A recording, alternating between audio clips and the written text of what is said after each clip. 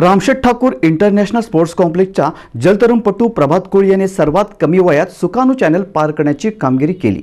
त्याबद्दल त्याला मानाच्या तेनसिंग नोर्गे राष्ट्रीय साहसी पुरस्काराने राष्ट्रपती रामनाथ कोविंद यांच्या हस्ते नुकतेच सन्मानित करण्यात आले आहे.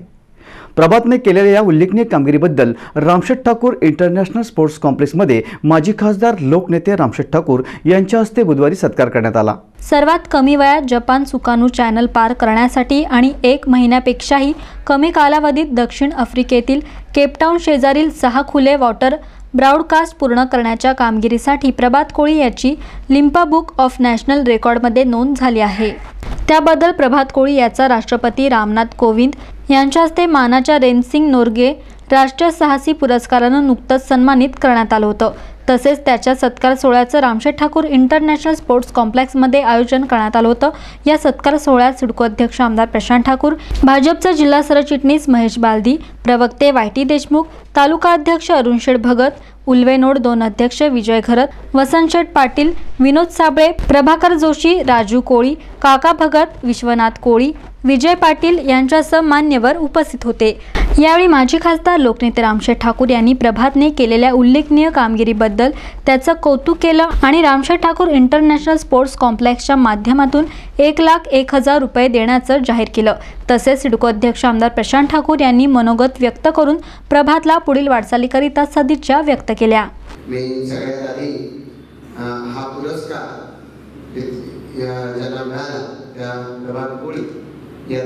मनापासून अभिनंदन करतो.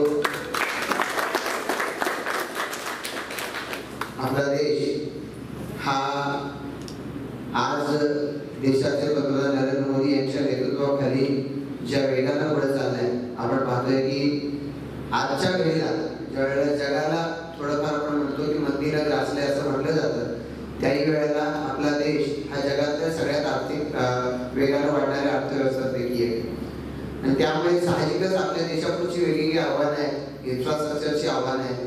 आज पाऊस प्रचंड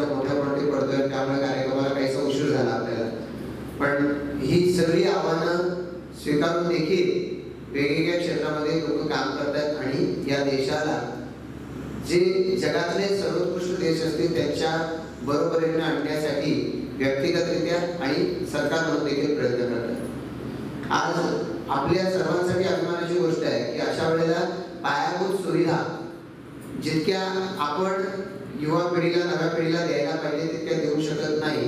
आणि त्याही परिस्थितीमध्ये परिस्थितीशी संघर्ष करत मिळेल त्या संसाधनांसह आपले युवा काम करतायत आणि प्रभात कोळीचा पराक्रम हा त्याच्यापैकीच एक आहे. आणि मी निश्चितपणानं सांगतो की एकीकडे या स्पोर्ट्स कॉम्प्लेक्सच्या माध्यमातून आता त्याचे वडील सांगत होते किंवा आपले सहकारी सांगतायत. त्याप्रमाणे रात्री कधीतरी आठ वाजता सुरू करायचं ते रात्री दोन अडीच वाजता स्विमिंगची प्रॅक्टिस सकाळी पुन्हा सहा आठ वाजेपर्यंत स्विमिंग सतत करत राहायचं. आणि म्हणून ही कुठे ना कुठे मनाशी झालेली जिद्द आहे. आणि अशी जिद्दच नवे पराक्रम करायला अशी जिद्दच नव्या आव्हानांना सामोरं जायला हे कारणीभूत ठरत असते किंवा खरंच प्रभातकोटीचा सन्मान केला जातोय. तो राष्ट्रीय स्तरावरचा आहे. जागतिक स्तरावरती त्यांनी काम केलेलं आहे.